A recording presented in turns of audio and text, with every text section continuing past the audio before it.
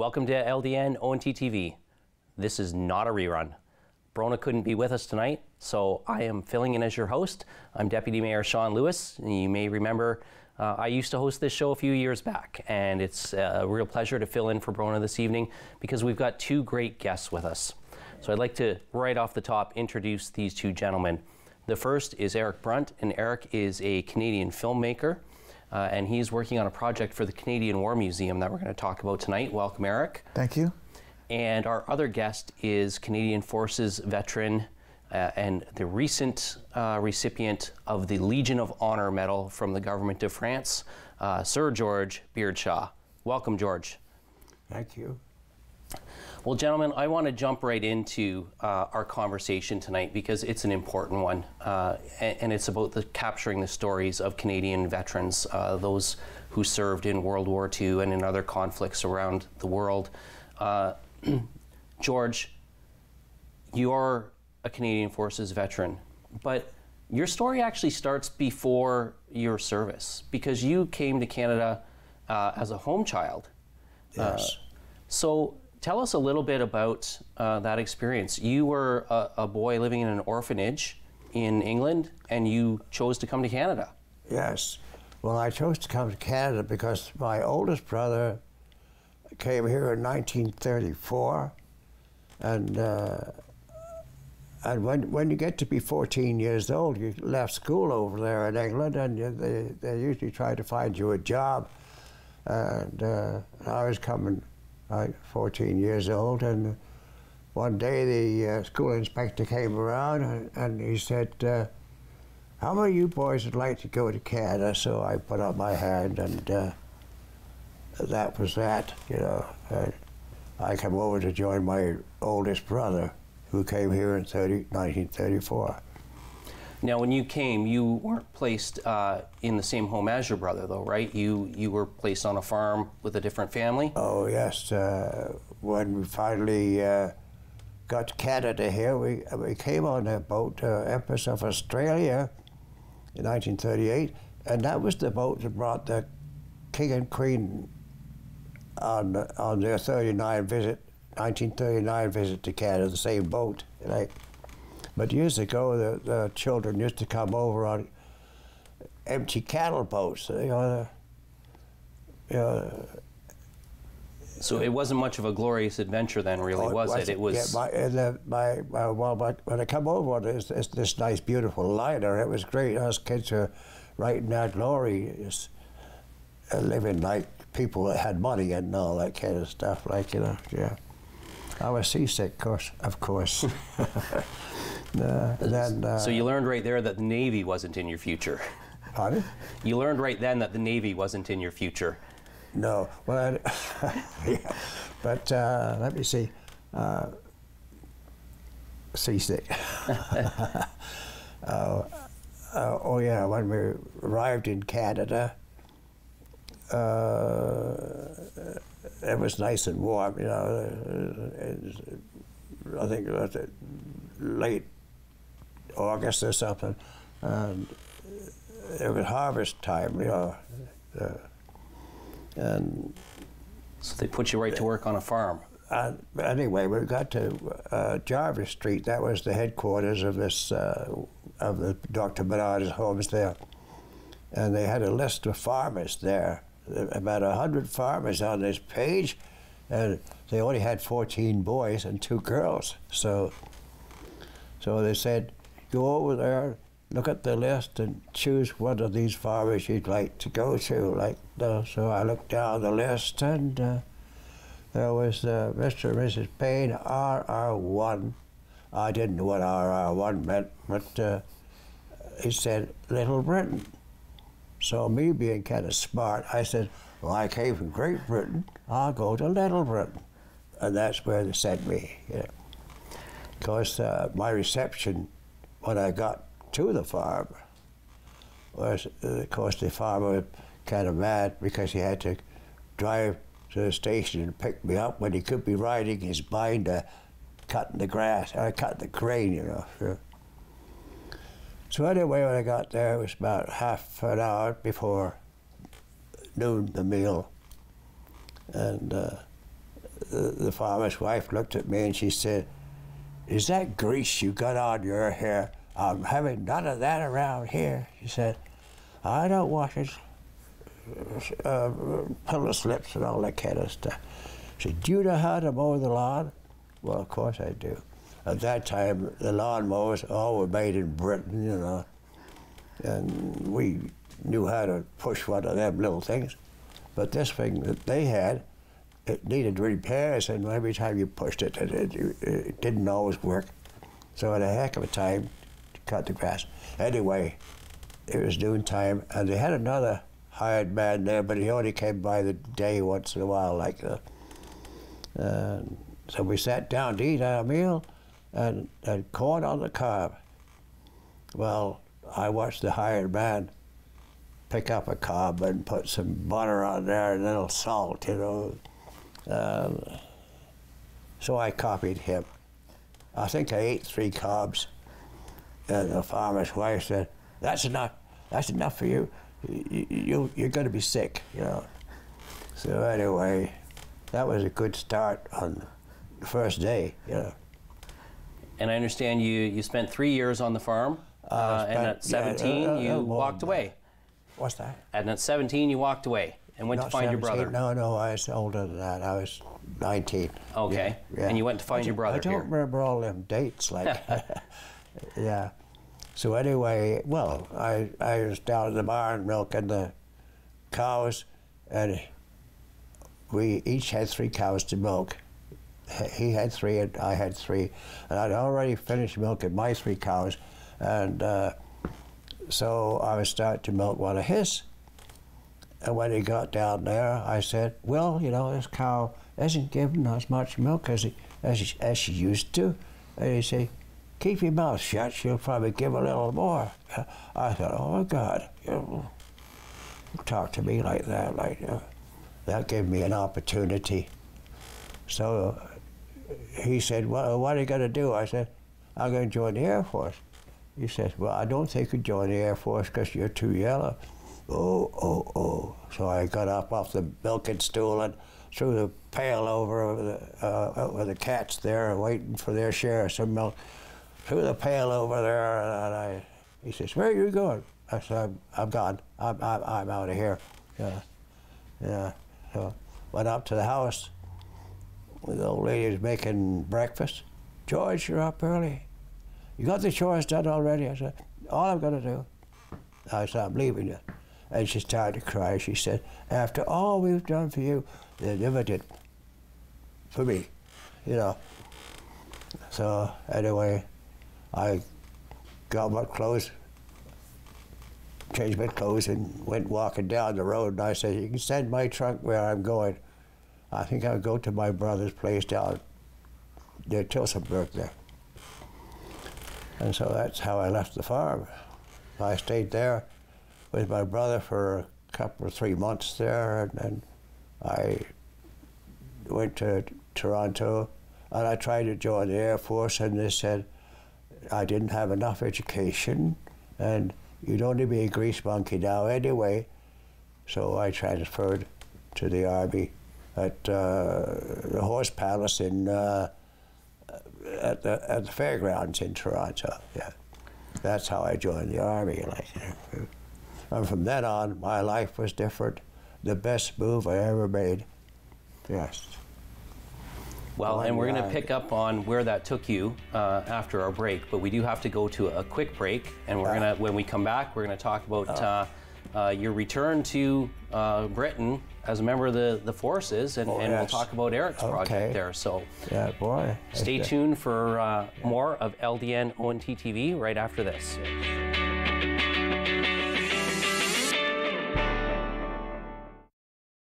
This program is brought to you by the following sponsors. Carbon monoxide is a deadly gas you can't see, smell, or taste. Homes with fuel burning appliances and or attached garages must have working CO alarms installed outside all sleeping areas. Don't let the silent killer get you. Install working CO alarms today.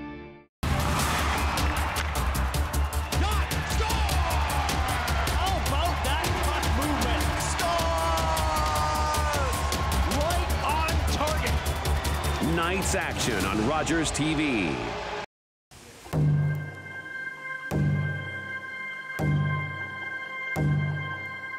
Heartbeat of Mother Earth, I feel you and embrace your warmth. I see you dancing through the trees. Your song floats on the summer breeze. Community, we come together. We are the voice of our ancestors. Thankful for how much you bless us. Feel the thunder in the drum. All our voices sing as one. Feel the power, feel the pride. Feel the drumbeat deep inside.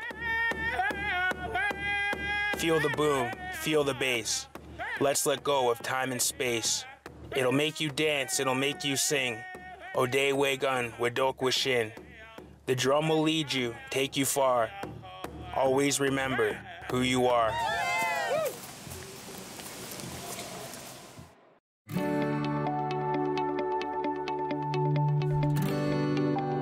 Watching Rogers TV.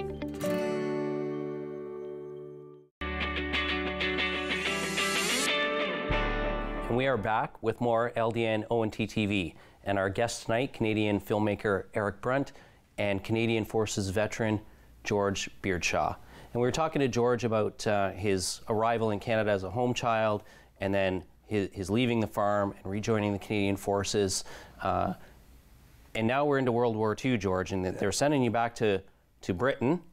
and, and you'd found out that you had family that you didn't know about. Yeah, well, I had, uh, yes, uh, on my last leave before going over to, well, I, let me see, I was uh, training in, in Camp Borden. I was, it was my turn for, uh, put, lay the breakfast tables in the, in, for my, the, the guys in my hut in Camp Borden there. And uh, they were playing the 10 top tunes, and they, uh, they said, Bullet, Bulletin, Bulletin, the Allies have landed, and uh, it's D-Day, like, you know. Uh, I'm sure the hair on the back of my neck must have stood straight out, yeah. So anyway, uh, I went on my last leave to my brother's place down near Josephburg, and, and uh, on my way back to uh, to camp, uh, Camp Borden. I was going down the steps into Union Station, and I knocked this guy. He was coming up, I was going down, and I knocked this guy off his feet, and he looked up to me, looked at, looked at me, and said, "George." Well, I'll be darned. There was a guy I knew at school in England, like, uh, and he came out after me, and I think he came on the last ship from of home children, like you know, yeah. Yeah. And then I went overseas, and uh, they said uh, I wasn't on their D-Day, so. Uh, uh, So went you arrived after. D-Day, Yeah. and you were deployed. Was it in France first, or was it in No, Holland? I went to England. We landed in Scotland, and we went down into Yorkshire. And uh, my brother Charlie, who was in the British Navy, still in England, uh, he gave me my mother's address. I don't, I don't remember nothing about my mother because I was put in the home when I was three years old in a place called Baby's Castle. And then when you got be five years old, they put you in a, another home where. Where the older children were. Oh. Yeah, yeah. So uh, I had the address, and and uh, they were going to hustle us guys over to France because uh, D-Day was over, and uh, the Queen's Own Rifles had lost a lot of men on D-Day, and they needed reinforcements right away, you know. So I told the colonel, I said, "Oh, colonel says nobody gets to leave nothing. We got to get you right over right away because we need you."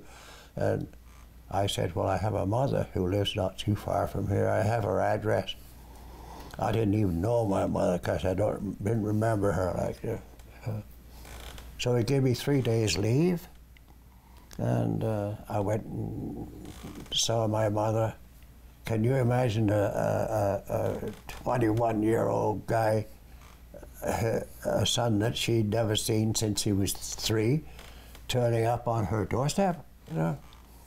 and on the eve of heading off uh, to be deployed in the war. Yeah. yeah. Pardon? And on the, at, the, at the time when you're heading off to be deployed in the war, so it's a very brief reunion, right? So I got three days leave. Yeah. And uh, my grandmother was there, I remember. And she was a little old lady. Uh, she had about six inches of knees there, and she grabbed a hold of me by my belt, sat me on her knees, and, and like those old ladies years ago, you saw had hair sticking out here, there, and she rubbed her face against me. And I never forget that, like, you know, yeah. So, Eric, you've been uh, working on uh, capturing the stories of our veterans. Veterans, Um, yeah. What got you started in Yeah. On that project? Well, I, I met I, I met George back in 2018 when that's when I started doing interviews across Canada.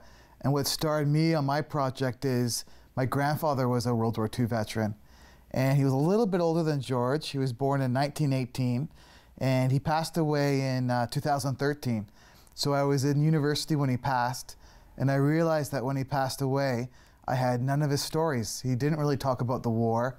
Uh, he was in the Air Force, and it made me wonder what other people were out there, other veterans, and uh, not just Air Force, but Army and Navy as well. And it became sort of a mission of mine to try and interview as many as I could.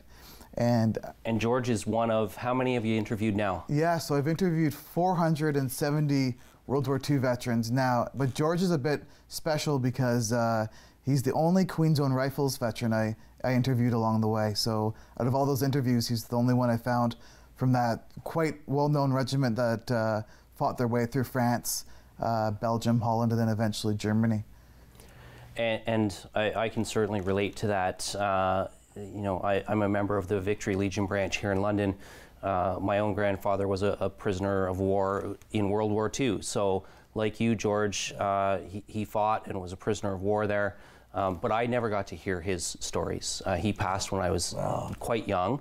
Uh, and I know that many veterans are reluctant to tell their stories, but it's so important that we don't forget them. So, the, the project that you're working on for the Canadian War Museum, um, are, are, what are the stories like that you're like we're hearing from George? Just even getting to the front eh, was a, a, a huge journey for him. And, and what kind of stories are you hearing from our veterans? Yeah, so I, I hear a wide variety of stories. I, I hear from the Air Force, the Navy, the Army, and uh, yeah, George is uh, an interesting veteran because not only was he in the infantry, but he was also a prisoner of war. And I do, I do hear from a few different prisoners of war, but everyone has a different experience. I think everyone has a bit of a different outlook, which makes my job really interesting because I get to hear some of the funny stories, especially from George. Uh, some of the there's some romantic stories, and there's some sad stories as well. And it's trying to it's basically trying to collect uh, as many stories as I can. And with the Canadian War Museum and a company called Melky Films, we're going to make all these interviews available to the public free of charge, and they're going to be able to watch these stories. And I think it's really important for our children or the youth to uh, hear these stories because uh, not everyone has the opportunity or honor to get to meet someone like George. And I'm very thankful to, to be able to do that and to make these videos available to the public. They'll maybe in a way get to meet a veteran and hear some of their stories. And I hope through some of the humor, um, they'll be able to connect with some of these veterans that are going to be probably 80 years older than them, and for future generations, uh, people they'll never get to meet. So that's the big goal. And, and George, what has it meant for you to be able to share your story uh, with somebody like Eric and know that it's going to be saved for generations to come? Well, I, I never really thought about that, like, you know. Uh, yeah. Uh, everything's happening to me so fast, yeah, lately, yeah. I think it really speaks to, to the value of uh, the stories that we're hearing from you tonight, George. That um, while it seems very busy to you, it's it's really important uh, t- to preserve those so that uh, my generation and Eric's generation and others can share that. So we're going to go right to break, and we will be back to finish up this episode of LDN ONT TV right after this. Okay. This program is brought to you by the following sponsors.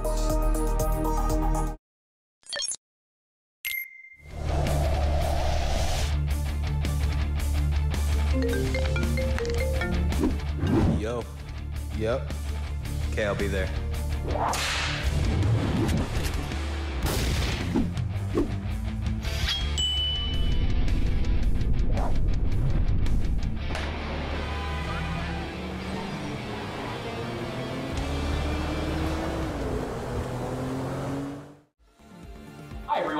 Is Dr. Mario Elia, and I'm the host of a new show here on Rogers TV that we're calling Keeping London Healthy with Dr. Mario. So tune in Wednesdays at 6.30 p.m. and we'll see you then.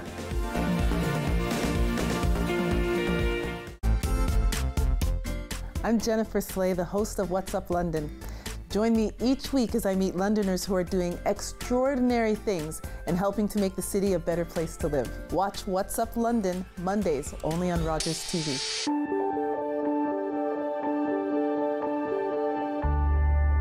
Watching Rogers TV.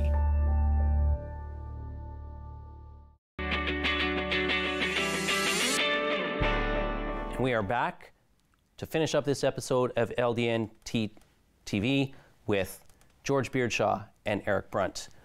George, we were talking before the break about uh, you know you went to serve in France. You were eventually uh, captured and became a prisoner of war in the last month of the war Yeah. in Holland. Yeah. I, I don't think people have a real sense. What was that experience like? Oh, that experience was, uh, oh, uh, yes, uh, this was at nighttime we were captured on a, on a dike road, and there was a bridge there that had been uh, blown up, like, you know, the big chunks of water in the, river, in the small river there.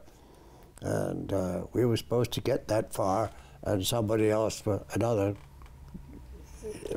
another branch of the army was going through on the other side of the dike. And uh, when we got there, I, I thought they were our guys on the other side of the dike, and they weren't. They were Germans. And whatever happened to the ones on the other side, the, our guys on the other side, I don't know. But anyway, it was a little bit of a schmozzle there, and, and I, this model. Yeah. Uh, I saw the Germans.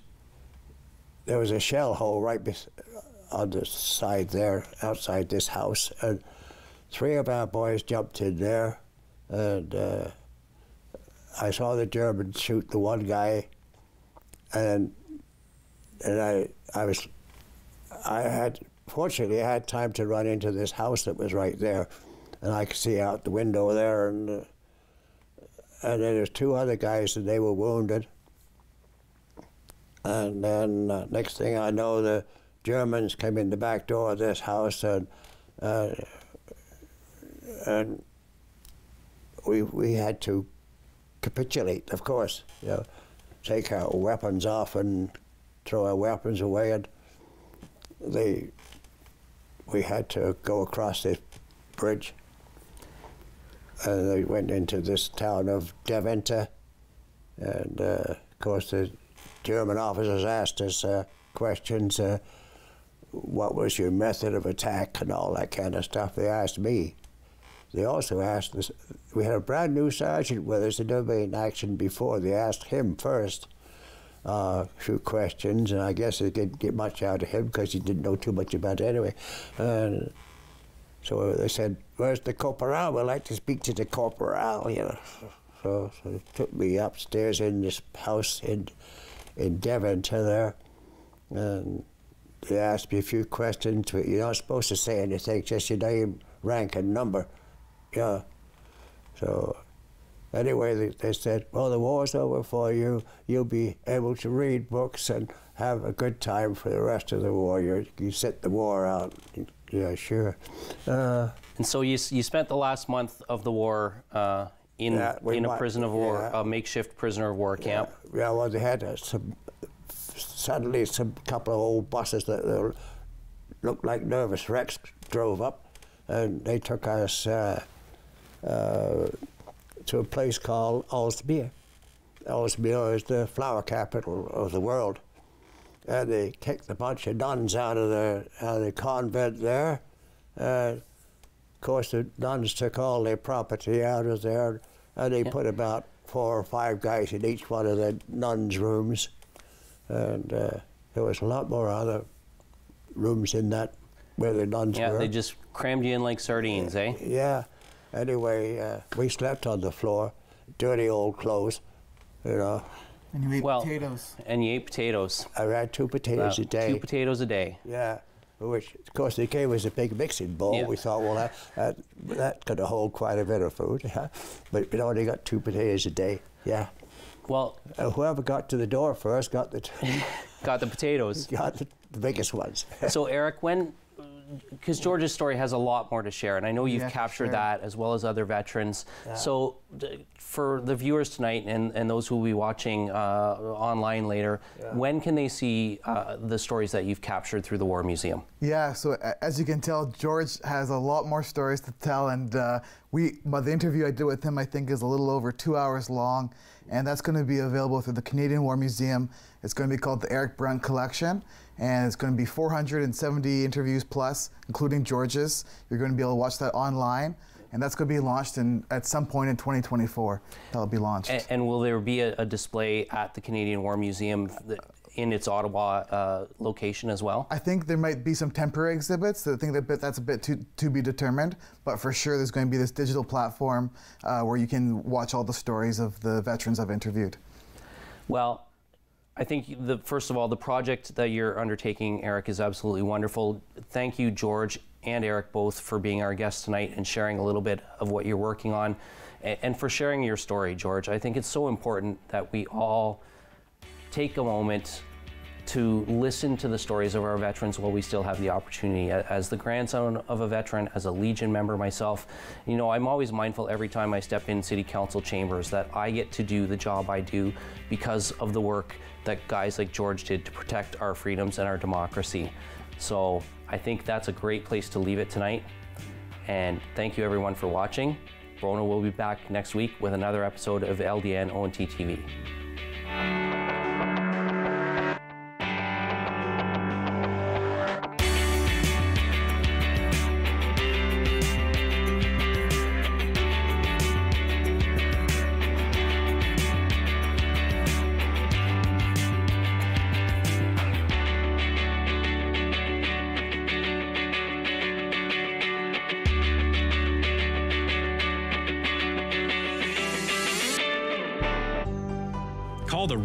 TV viewer response line, email us, or connect with us on social media.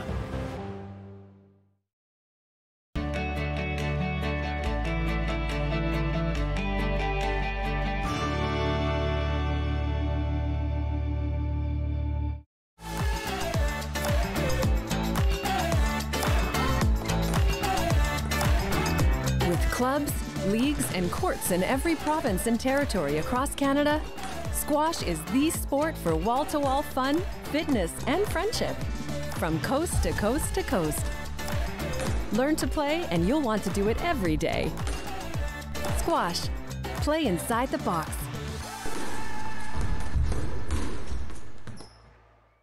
My daughter is seven years old and has a frenemy. They have play dates that always end up in a fight or tears. This friend bosses her around and treats her poorly, but she still wants to be her friend. What's a parent to do? I would let them acquiesce to a certain amount, and then you know, when they're at this age, you still need to be supervising their play dates. So I might step in, not to correct the bossy child, but it's my child that I'm concerned about. I would just expose her to other people, teach her to have a voice.